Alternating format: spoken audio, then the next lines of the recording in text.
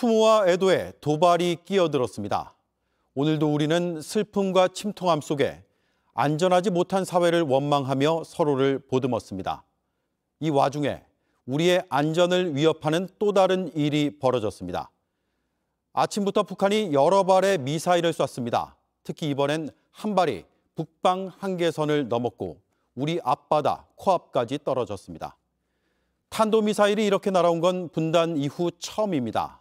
우리 군은 곧바로 NLL 이북으로 미사일을 쐈습니다. 오늘은 북한 도발 뉴스를 먼저 전해드리고 이태원 참사 소식, 특히 경찰의 문제점을 집중적으로 따져보겠습니다. 첫 소식 이금평 기자입니다.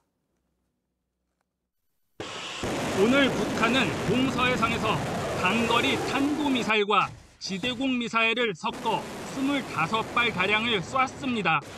이 중 아침에 한 발이 동해 북방 한계선 NLL을 넘어 울릉도 방향을 향했습니다.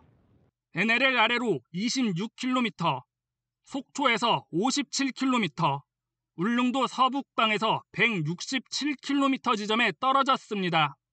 우리 영해로부터 불과 30여 킬로미터 떨어진 곳입니다. 북한 미사일이 NLL을 넘어 우리 영해 근처에 떨어진 건 분단 이후 처음 있는 일입니다. 매우 이례적이고 결코 용납할 수 없음. 우리 군은 이에 대해 단호히 대응할 것을 천명함. 윤석열 대통령은 국가안전보장회의 NSC를 열고 실질적인 영토 침해 행위라며 북한 도발이 분명한 대가를 치르도록 엄정한 대응을 지시했습니다.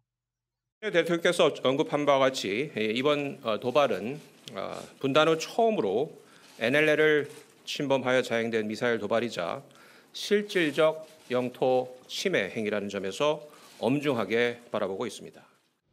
이후 우리 공군은 F-15K, KF-16 전투기를 출격시켜 NLL 북쪽으로 미사일 3발을 쐈습니다.